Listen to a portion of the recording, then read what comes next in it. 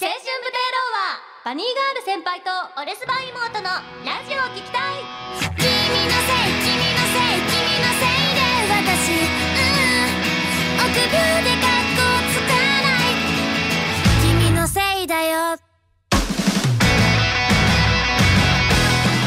皆さんこんにちは。瀬戸あさみです。皆さんこんにちは。久保ゆりかです。この番組は6月15日に劇場公開する青春豚野郎は夢見る少女の夢を見ないに出演する桜島舞役の瀬戸あさみとあずさ川楓役の久保ゆりかが作品の情報をお伝えしつつ絶賛思春期を謳歌している人や理想の思春期を送れなかった人に向けてお届けする青春ラジオ番組です。はい。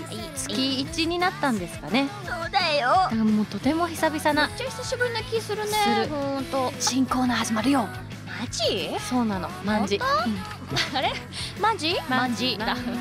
どっちで見ても使えるんだもんねマジさんはさ。何でもいいんだな何でも使えちゃうからさ。もう私たちさこの、収録今始まったじゃん、うん。まあ、その前からずっと喋ってるからさ本当に。もう早く始めてくださいってさすがに言われたね初めてディレクターさんに怒られて。そうだよ。そしたらもそう。ミーモがさ「もうじゃあテンション下がっちゃった感じでやるからね」そんな可愛くなかった。言ってないか。そんな可愛くなかった。すいませんもう本当にテンション下げていきます。ああやめてくれ。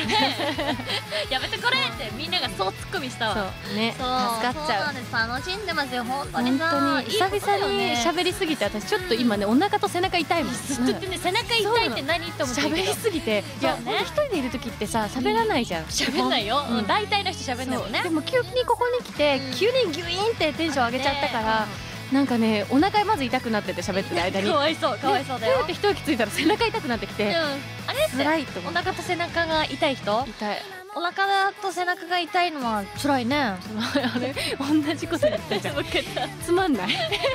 いやもう一回考えてみたらよもうあ待ってよ。もしかしたらこれ深い意味があるのかもって考えたんだけど結果辛いだけだって思った。のそう全然だから大丈夫ですって。いうあーよかったよ、うん。まあじゃあ愛も変わらず仲良くうん。テンション高くやっていきましょうよ、はいさい。はいということで早速始めましょう。はいさい、えー、青春豚野郎はバニーガール先輩とお留守番妹のラジオを聞きたい。最後までよろしくお願いします残って圧にならないこの番組は青豚プロジェクトの提供でお送りいたします。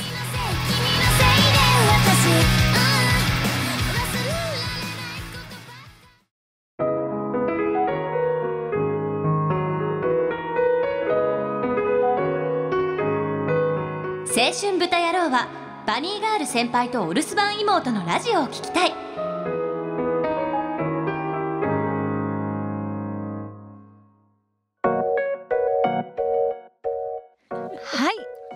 青春豚野郎は夢見る少女の夢を見ない桜島舞役の瀬戸あさみです。ですね。はい。朝川楓役の久保ゆりかです。ですね。はい。なんだこれ。私。はいはいはい。先日。あすごい。なんかカタカタだ。はい。半角変なとこに入ってる。伝わるね、うんうん。言葉だけで。はい、あの湘南うん、藤沢フィルムコミッションフォーラムで、うんうんうん。えっと、主人公を演じております石川海人さんと、うんうんうん。そして原作者の鴨志田はじめ先生とはい。イベントを行ってまいりました。三人でだ。うん、トークイベントでした。もうひたすらにうん藤沢についてだったり、作品についてだったり、そうここだからここでしか聞けない先生に何でも質問しちゃおうみたいなコーナーがあったりとか。あーなるほど。そう。えもう完全もうトークオンリー？そのなんかコーナーみたいなゲームとかも別にするわけじゃなくて？トークオンリーで。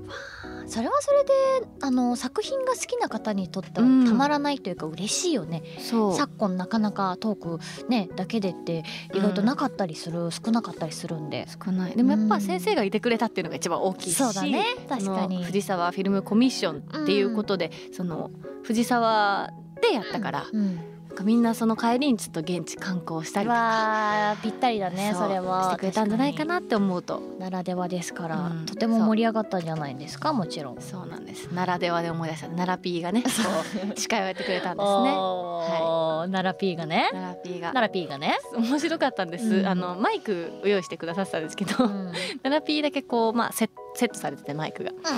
であのマイクのセットの仕方がなんかもうロックミュージシャンみたいなの、横から。横から。斜め上から刺してるタイプのやつね。ギター弾くんかなみたいな感じになってて面白すぎたっていう。なんでなんで？どうしてそうなっちゃったの。多分ね台があの MC 台があったから多分それをかわすためにこう横からね。やった結果ちょっと面白いミュージシャンみたいになってたっていう。ドラム叩きながらし歌うやつですか？みたいなやつだよね。そうそう鴨志田先生から私たちに質問があったりとか。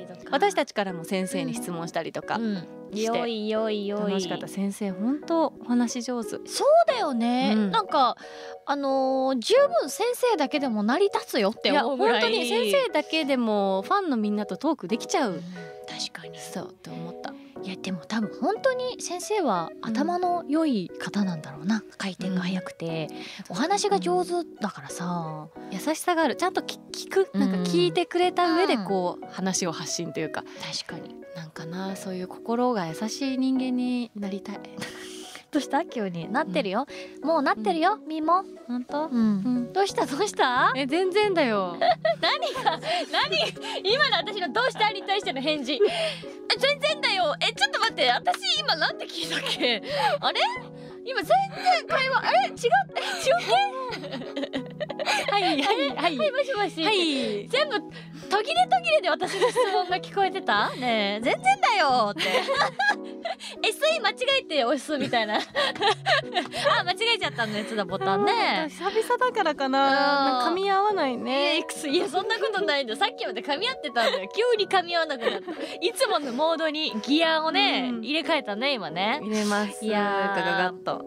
いやでもなんか楽しそうだったんだろうなと思ってあのいいなと個人的に思ってますけれどまたはい。改めてなんかね、その劇場の上映に向けてもしかしたらね今後もいろいろあるかもしれないから。ねそれに上映が始まったらさ、きっとなんかうん。初日の何かとかありそうな予感するね確かに。うん。そうだわ。楽しみにしてご挨拶みたいなとかねあったりするかもしれないから、そういうのも含めてまた改めてね語り合えることもある気がそう。しますね。ああと AJ もあるしね、そうだそうそう。みんなねぜひぜひぜひ。ちゃんとねうん。今日もうん。お知らせのコーナーあるから。そうだね。そこで改めて。ちょっとまだ内緒です。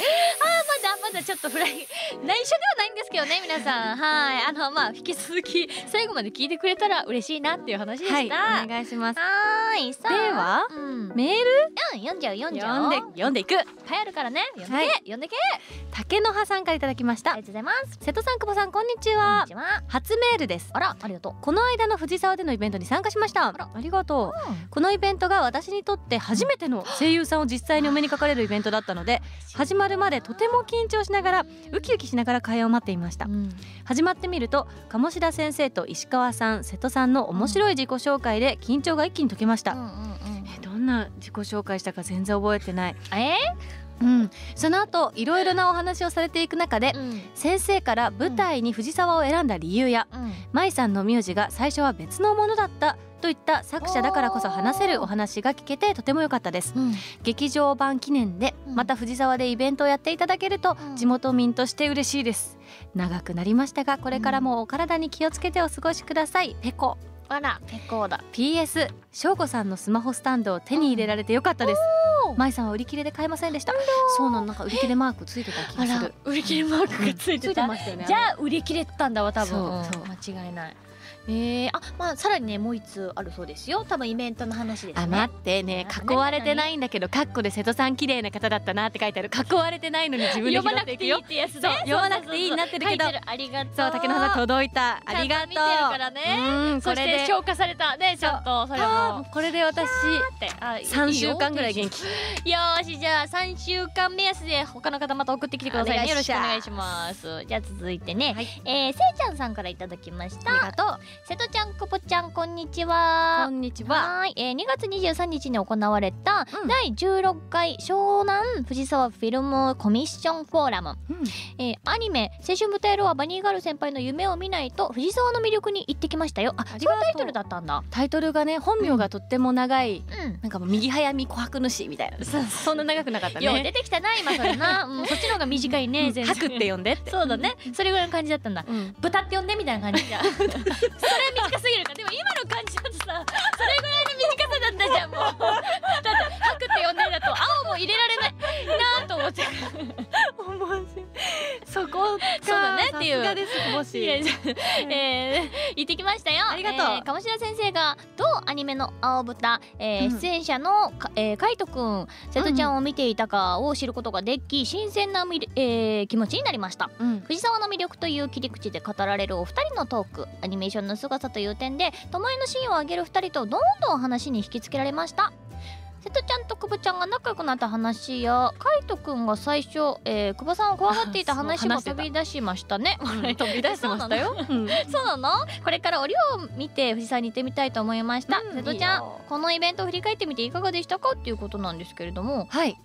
また怖がってた話飛び出したの？でもね多分それを言えるようにこううん。公の場で言えるようになったってことは多分僕はもう久保さんとちょっと仲良くなれたって思って あの多分言おう言おうってなってる。とてもいやなんか可愛い行動だと思います。ってたらしいんだよね。でも私うん威嚇とかはしてないよ。ただマジで喋んなかったからだろうね。うん多分そうだと思そう。う。クールに見えたのかもしれないね。そうかも。あと番組上とかで見てるとすごいテンション高そうじゃんあ私が、うんうんうん。で多分裏で逆に喋んないからあれ？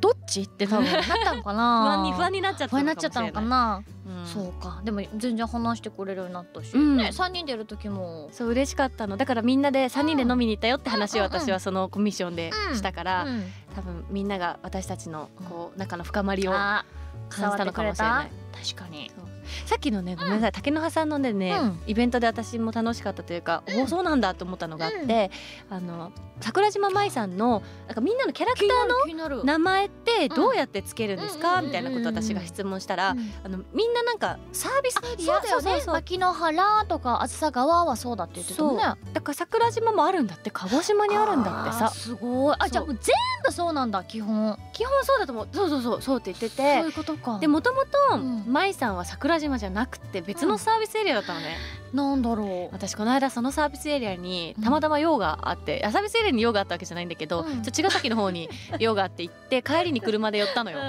うん。うん。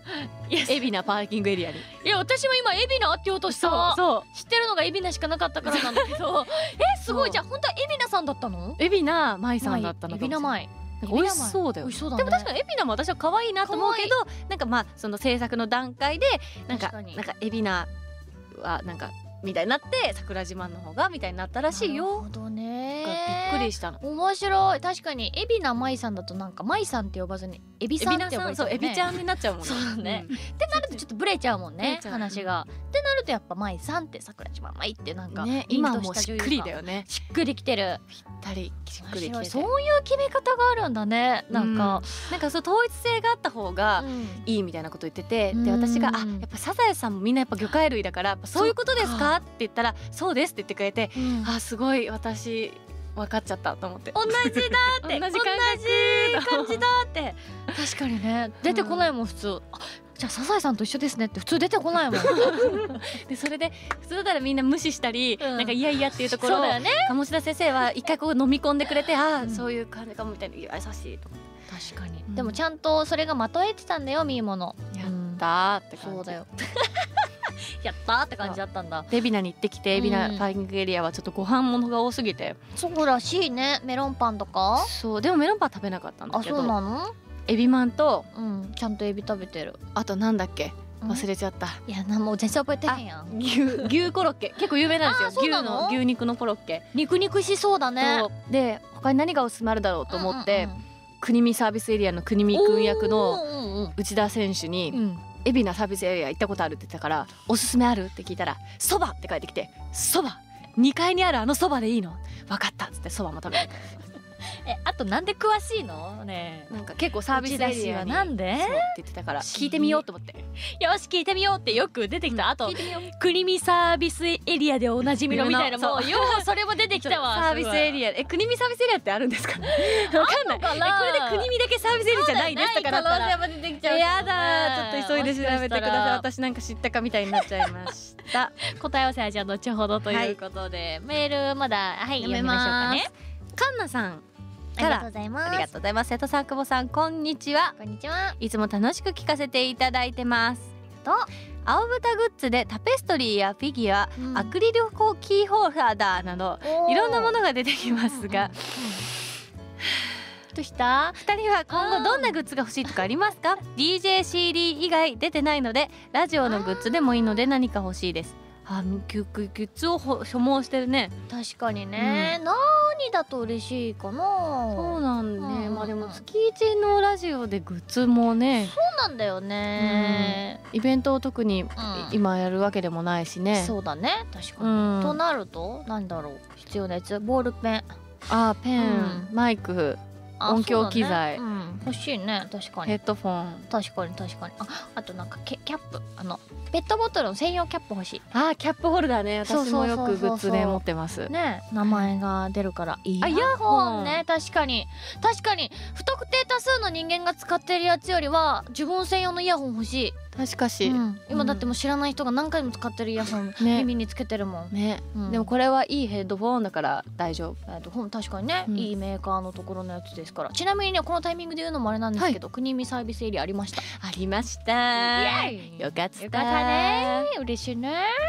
そうなんだよな。でもいやグッズか。でもあ時計とかもいいじゃない？あストップウォッチは？ストップウォッチ。うん、そうだ。今ちょうど不在のストップウォッチ。たまたまスタジオいなかったっていうだけなんですけど、まあ言って私見ないけどねストッあとプウォッチ。私ティッシュが欲しいティッシュ。花セレブとコラボみたいな。いやいいじゃない、うん。だってさ花セレブさんのさ外にさうさぎの絵とか描いてるじゃん。そうなの。あれ大好きなんだ私。そしたらもう舞さん描けるじゃんね。ティッシュケース？あいやティッシュがいい。ねティッシュケースに入れるそうそうそう人って少ないよ。そうだよ。もううん。興味なかなかないですか？ら、うん。ティッシュが欲しいね。ティッシュ。あと私このサイズのハンカチ好きなんです。このサイズって伝わんない。なんだろう。う5050ぐらいかな多分、マス酒の箱が4つ分みたいなあの あのサイズ。そう正方形の。酒飲む人しかわかんないだろうな。マス酒でめったに飲まんけどね。そうやね。祝いかみたいな。50かな？50じゃない、ね。に24センチの足の人。50はでかくね。あえ全部で50になるやつハンカチ多いんだよ。多分2525で50みたいな。そうそうそう。そうなんだ。50サイズっていう。そうこの四つ折りにしてちょうどいいサイズのあのタオルタオル地のハンカチ。私あれすごいあるんです家に。好きそう。好きなハのあのハンカチのサイズ今日持ってないんですけど。じゃあそのハンカチだったら作ってもらえるかな、うんハンカチがね吸水性のいいのがいいです。そうだね。あとなんかポーチみたいな巾着がいいんじゃない？巾着良いね。良いね。みんなが使えるのいいね。そうだマスクケースだと。マスクケース今いいよね。ちょっと金抗菌してる。えそういうのあるんだ。ちょっと一時保管みたいなやつあったりするから。いい。ねそういうのね別にマスクは最悪入れなくてもいいわけだからさ、ティッシュ入れてもいいからね最悪。そうそういうね白物系をね。そういうグッズがあるのはねいいと思いますけども、うん。みんな何欲しい？メールで。あ確かにね募集しても良いのかもしれないし。みんなのアイデアが作っていくね。そうだ。だから私たちも DJCD 出したから次 DJDVD でもいいしね。え映っちゃうの？いやもう常にぼかしてもらう。常に。常にぼかして。もらって、えーでもうん。でもいいね。旅一緒にさ湘南行って、うん。そういうのもなんかできたら皆さんの要望が多ければきっとできると思いますので、ぜひメールなんかでね。そうですはい。あのいろいろ教えてほしいと思います。はい。はい。ということでたくさんのメールありがとうございました。引き続きアニメの感想や私たち宛てのメッセージをお待ちしております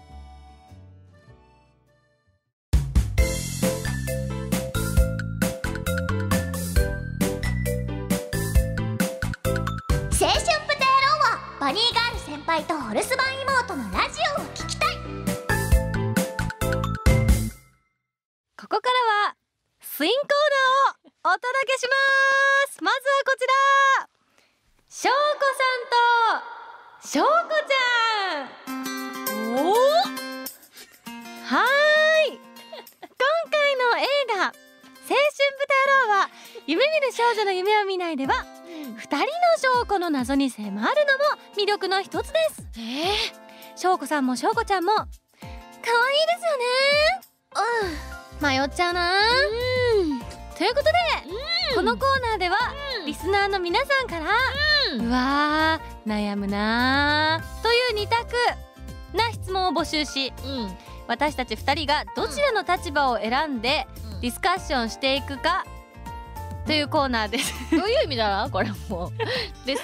どちらの立場を選んでディスカッションしていくか。まだ分かれる可能性もあるから。そうなの。もし別れたらちゃんとディスカッションができるんだけども、もし同じのを選んでしまったらだよねだよねはい次ってことね。ってなっていくっていうコーナーができましたのではい。皆さんのお便りが頼りです。そうだよ常に。だから今回はあれですね。あのはい。もともとあるやつを例題としてやって皆さんはこういう感じで送ってねっていうの。を、うん。はいわかりやすく届けていくぜ。はーいじゃあもうパッパ行こうパッパ行こう。パッパ行こう。もいっぱいみんなに送ってほしいからさ、うん。逆に例題がある分にはね。はい。いいですか？らでは例題さんからいただきました。レイデさん。我慢できないのはどっち？うん。A 暑さ。B 寒さ。もうこれは私もうもう速攻速攻ですよ。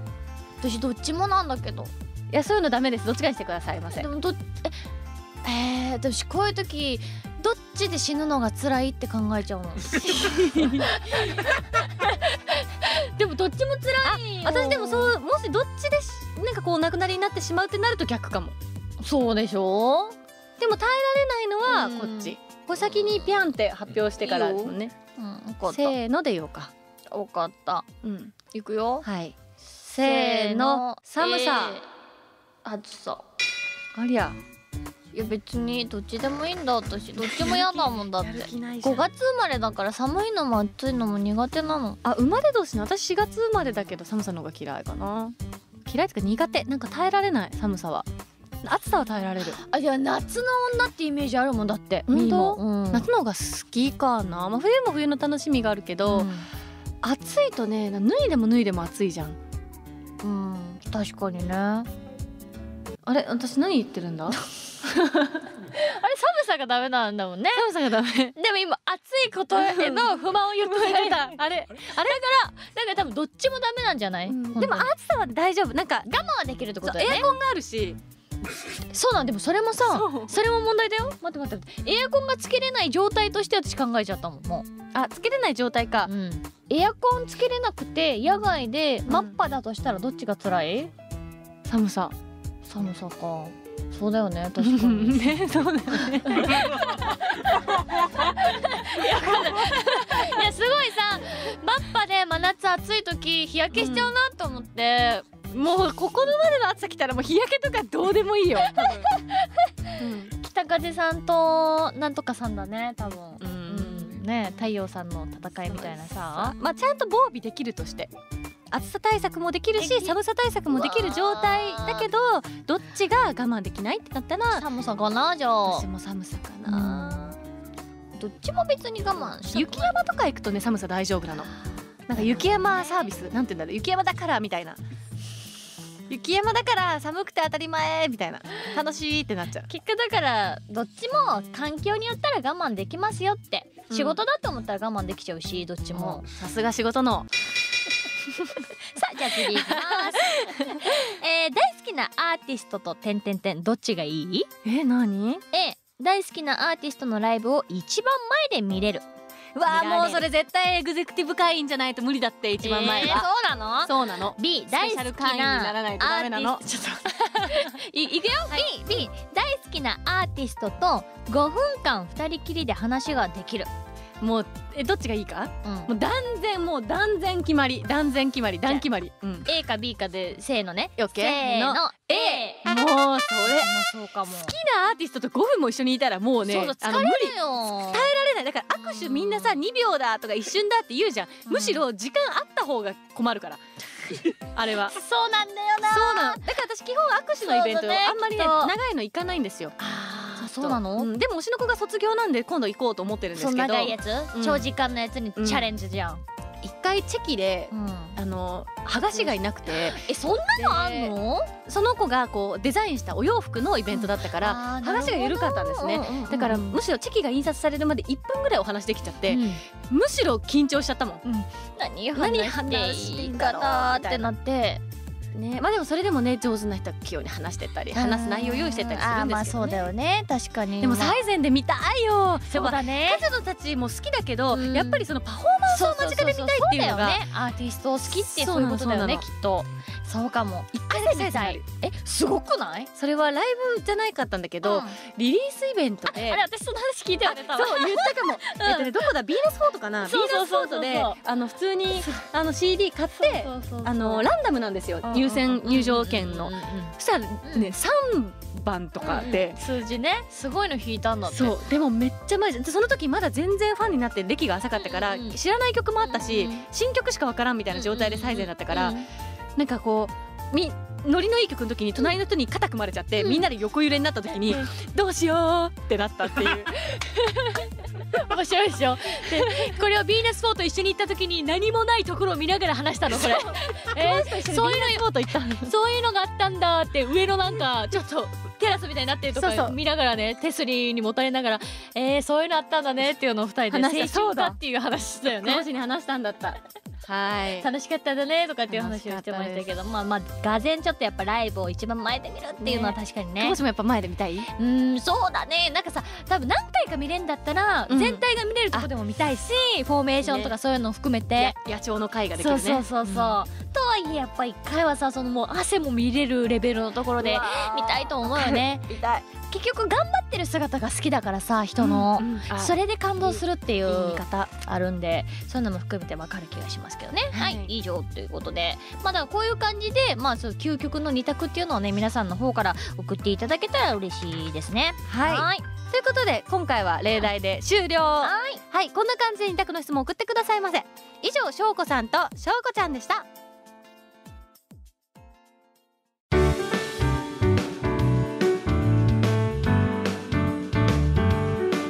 青春プテイローはバニーガール先輩とお留守番妹のラジオを聴きたい。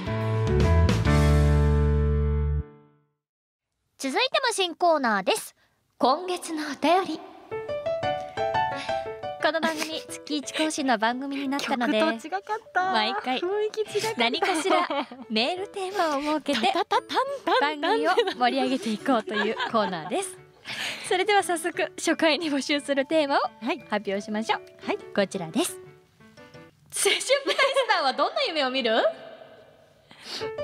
いや多分こうなるんだろうなって予想してたの、うん。急に大人になるんだろうなと思ったら想像以上にピタって。やんだからちょっとね戸惑いましたけど、映画のタイトルが「青春豚野郎」は夢見る少女の夢を見ないなので今回は皆さんが見た夢に関するエピソードを募集したいと思います。うんなので夢ならではのぶっ飛んだ夢のお話待ってますよっていう感じなんですけれども今日は例題代わりに私たちの夢のお話まあ見た最近見た夢だったり、過去に見てずっと強烈に覚えてることだったりっていうのをさ最近の覚えてないな久保氏は覚えてる？めっちゃ最近だと、まあ、その花粉症の薬を飲むとちょっとした悪夢を見るらしいっていうのを私は最近 ネットネット情報？でね調べて そうなやっぱりなって思ってんだけど、もうここんとこ本当に毎晩のように、あのー収録の現場で一生、もうなんか読めない言葉が出てくるっていうのをね。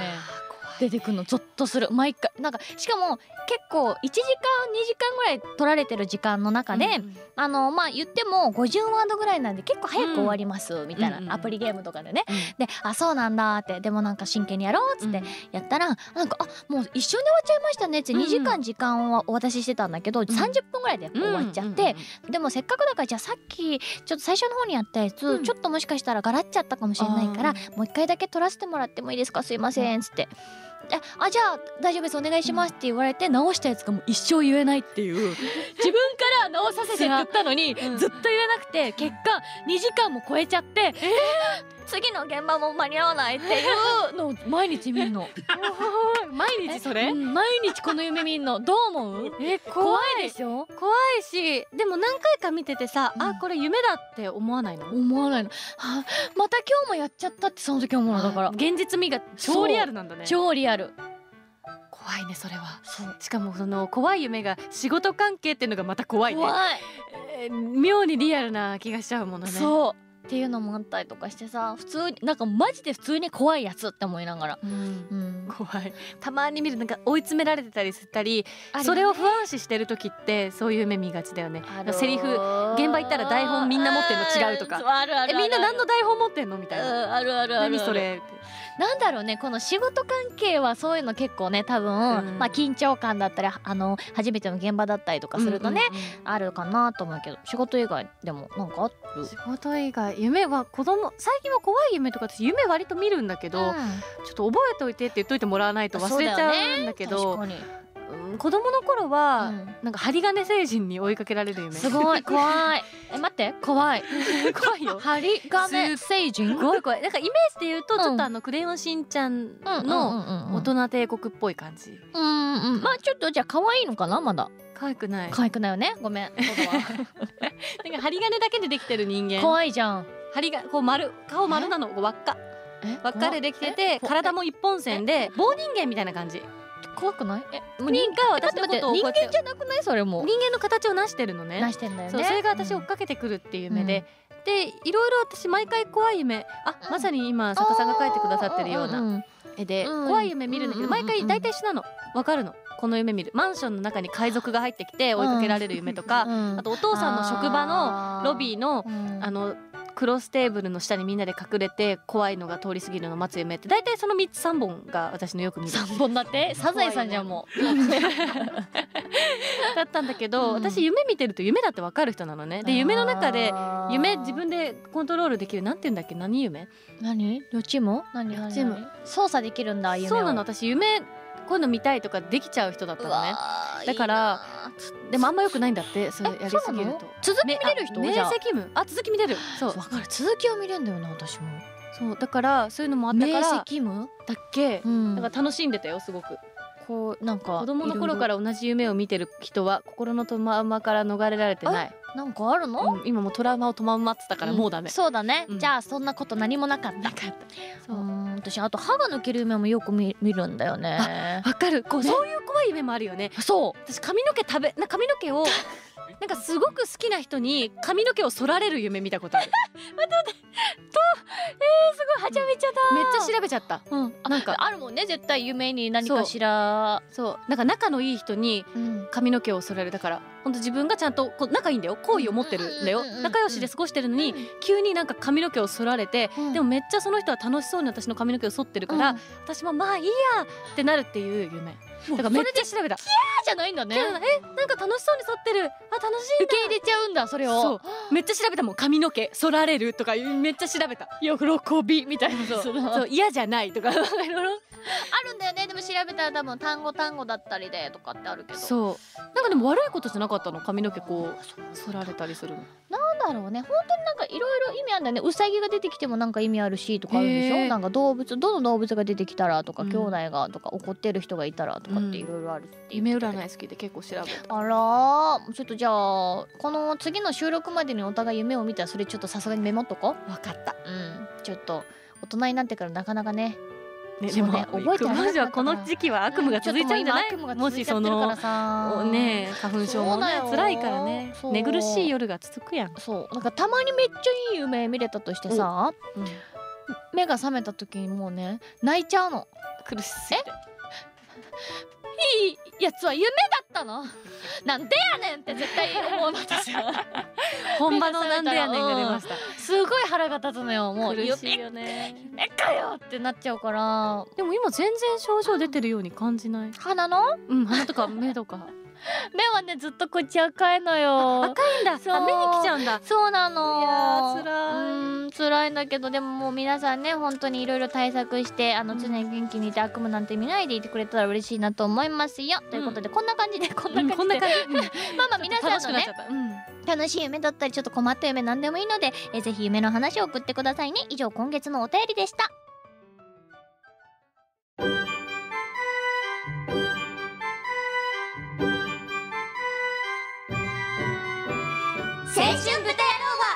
バニーガール先輩とお留守番妹のラジオを聞きたい。最後のこちらの新コーナー。せーの。私たちが青豚の宣伝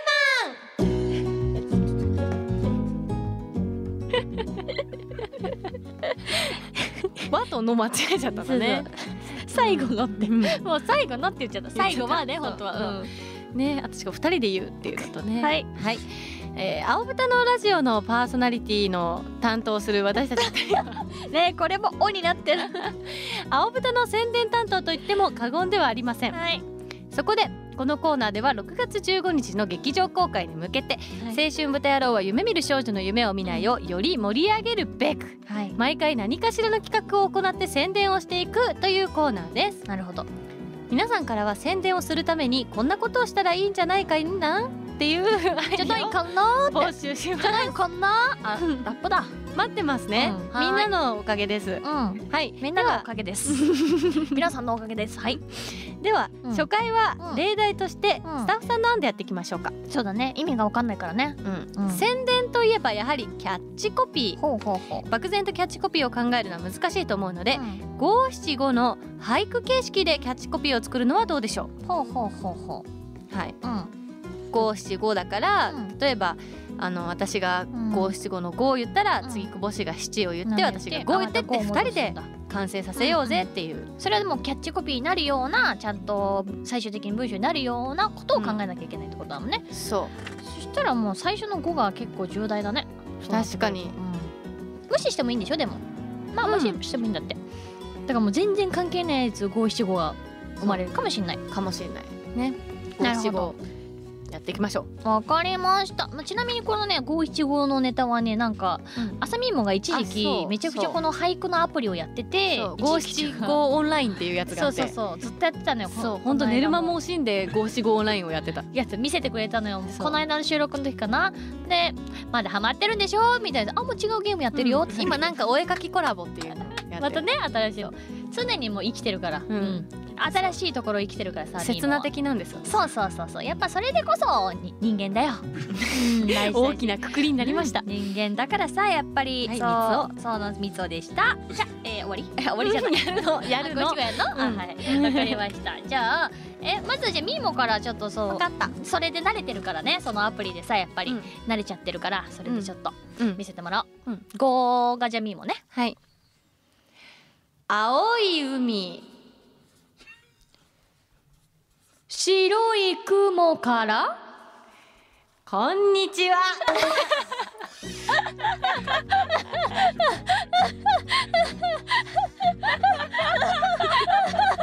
ねえねえ NHK みたいじゃない？本当？いやこういうのがねうん。みんな五七五オンラインでできるからあのやってみな 誰誰が出てきちゃったんだろうねでこれ。も白い雲からだから多分人間じゃない神だよね。そうそうそう髪が 青い海ザバーン白い雲から。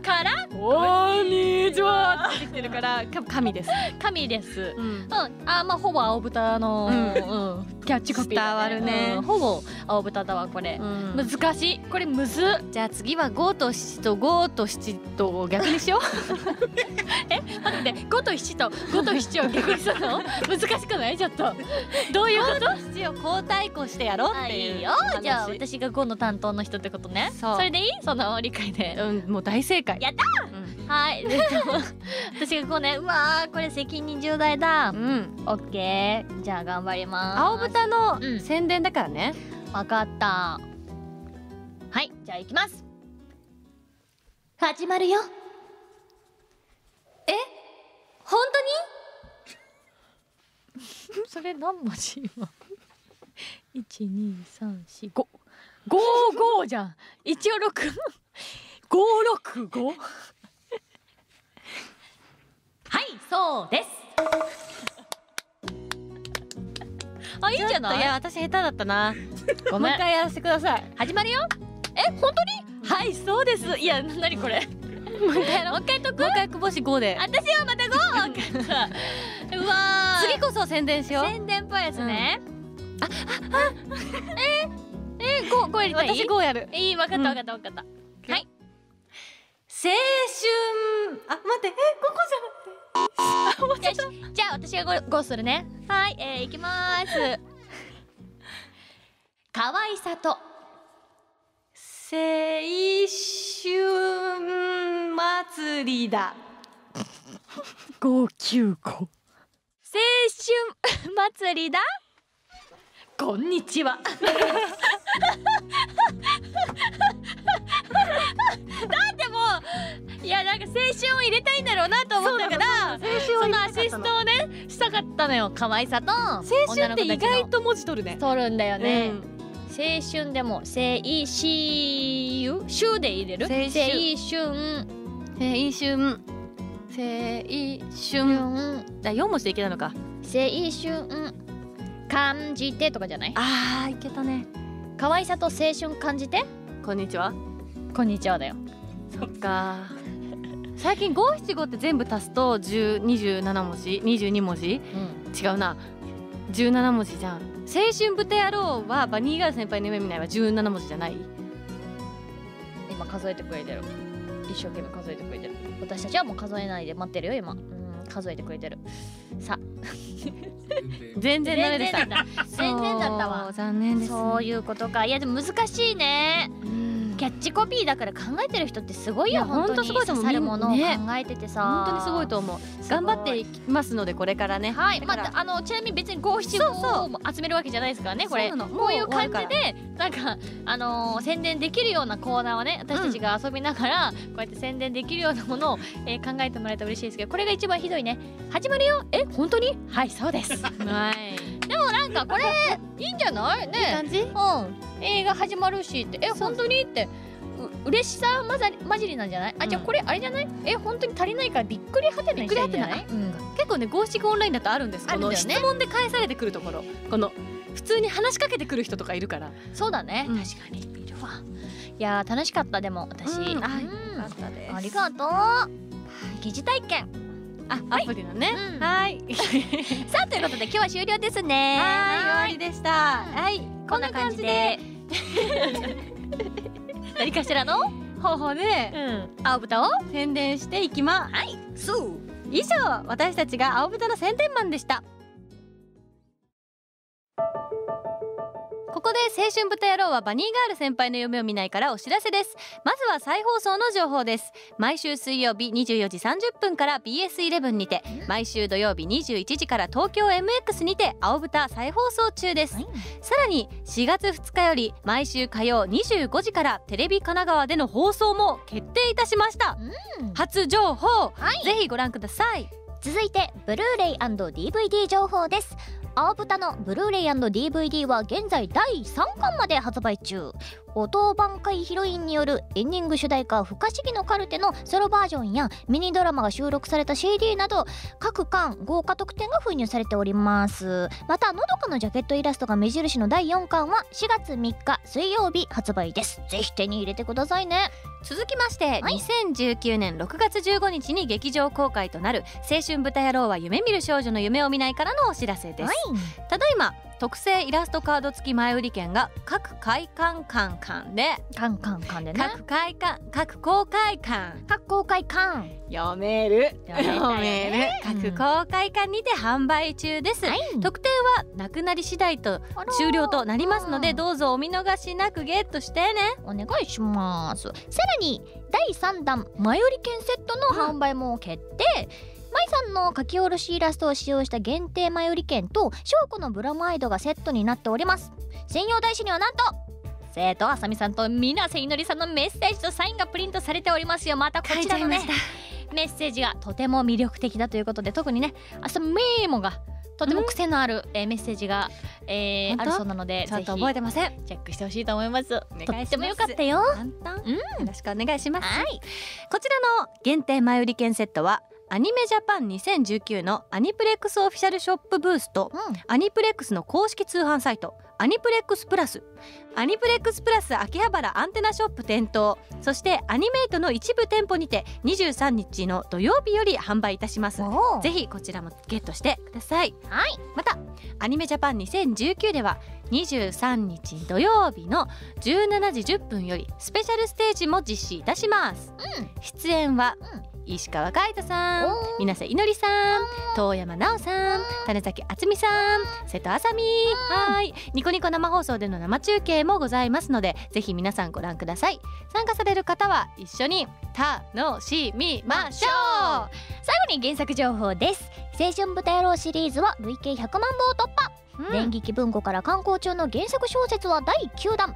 青春豚野郎はランドセルガールの夢を見ないが発売中。加えてコミックスの青春豚野郎はバニーガル先輩の夢を見ないと青春豚野郎はプチデビル後輩の夢を見ないの第2巻も発売中です。6月の劇場公開まで青豚ロースという方はぜひこの期間に原作を読んでみてくださいね。以上です。はいでした。青春豚野郎はバニーガール先輩の夢を見ないからのお知らせでした。以上です